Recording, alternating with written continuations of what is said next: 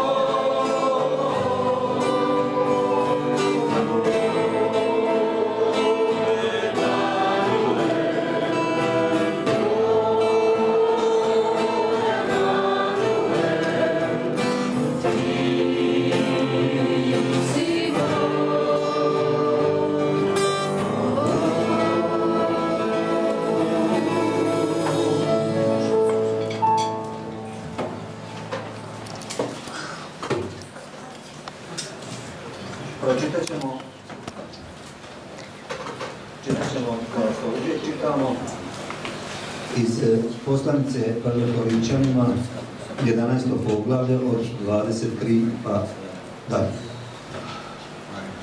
Ja sam u istinu primio od gospodina ono što sam vam i predao. Gospodin Isus, one noći u koju bijaše izdan, uze kruh, te zahvali, razlomi ga i reče. Ovo je tijelo moje koje je za vas. Ovo činite na moju uspomenu.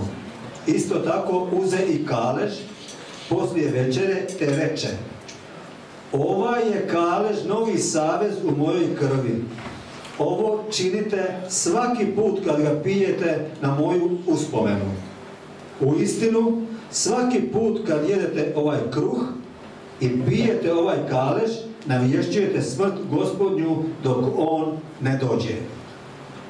Zato, tko god nedostojno jede ovaj kruh ili nedostojno pije ovaj kalež gospodnji, bit će odgovoran za tijelo i krv gospodnju.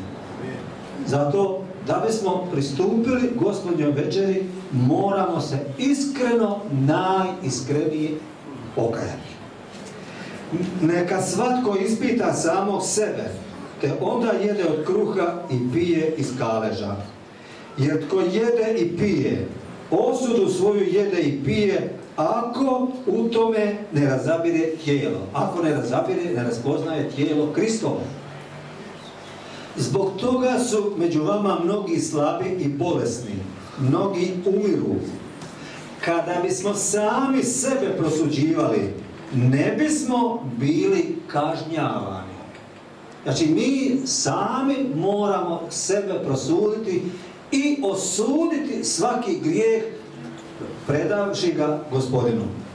A gospodin nas kaznama popravlja da ne budemo osuđeni sa svijetom.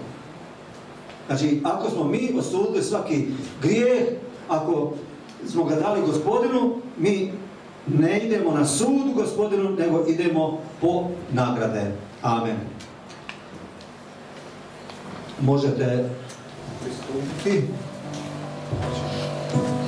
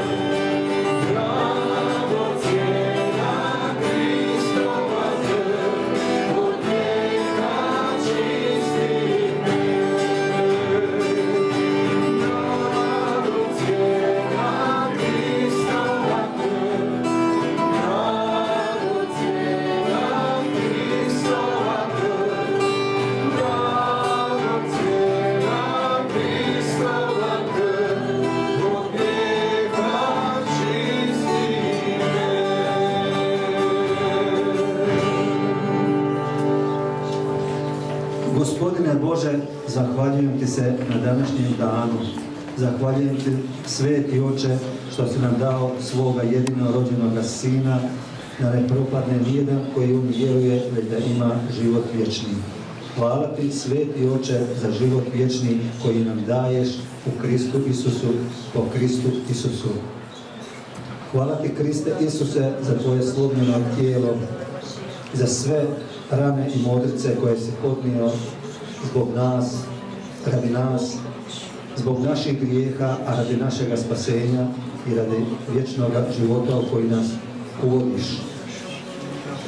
Hvala ti, sveti oče, što ćeš ti sada nešto novo učiniti za nas. Hvala ti za uskrsnuće Tvoga Sina, našega gospodina Isusa Krista, koji živi i kraljuje s Tobom u vijeke vjekova. Neka i sada u nama uskrsne nešto novo, nešto dobro, nešto veličanstveno, božanstveno. Molimo Te, gospodine Bože, molimo Te da Ti to učiniš sada po svome svetome duhu. Oče nebeski, mi se kajemo za sve svoje grijehe koje smo počinili mišlju, riječju, dijelom i propustom. A ti nam sveti oče oprosti sve naše grijehe, iscijeli naše slabosti, otkloni ludosti i nepromišljenosti, molimo te. I molimo te, gospodine, da nas ti zaštitiš od svake strijele zlobnoga i od svakoga izvora zla. Ti nas zaštiti u svome svetome imenu, u imenu gospodina Isusa Krista. Duše sveti, blagoslovi i posveti ovaj kruh u našim tijelima u ime gospodina Isusa Krista. Uzmite svi zajedno. Amen.